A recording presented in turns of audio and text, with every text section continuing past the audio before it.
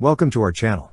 Don't forget to subscribe and put likes, because your support is important for us. And here we go. The T-72BM2 represents Belarus's enhancement of the Soviet T-72B tank lineage, building upon the prior T-72BME iteration first showcased in 2017. Although the T-72BME didn't see adoption by the Belarusian army and failed to attract production orders, it was marketed to potential export customers. The T-72BM2, introduced to the public in 2022, features a new add-on armor kit and an improved fire control system. Aligned closely with the Russian T-72B3 variant, the Belarusian upgrade boasts superior armor capabilities. However, it appears to lag behind in engine power and mobility compared to its Russian counterpart. The new add-on armor kit, developed domestically in Belarus, bears resemblance to the Russian Relikt explosive reactive armor of the third generation. This additional armor enhances protection against both kinetic energy munitions and explosively formed penetrators, covering a larger area of the hull and turret compared to the Russian T-72B3. Additionally, cage armor is installed at the rear of the hull.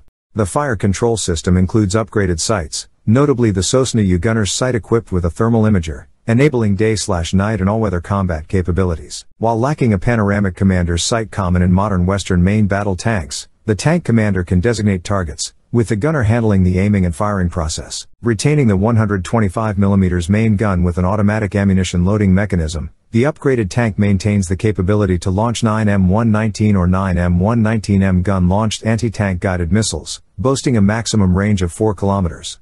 However, despite developers' claims of an 80% first round hit probability, demonstrations have revealed inconsistencies in target accuracy. With 45 rounds of onboard ammunition, including gun-launched missiles. The tank's secondary armament comprises a coaxial 7.62mm machine gun and a roof-mounted 12.7mm machine gun. Operated by a crew of three, including the commander, gunner, and driver, the T-72BM2 is outfitted with a new engine, likely the Russian V-84 MS diesel engine producing 840 horsepower. While its mobility and engine power may fall short compared to the Russian T-72B3, the T72BM2 features upgraded gearbox and suspension components to accommodate the increased power. Additionally, the T72BM2 can be equipped with a deep wading kit, enabling it to ford water obstacles up to 5 meters deep. That's all for now. See you later.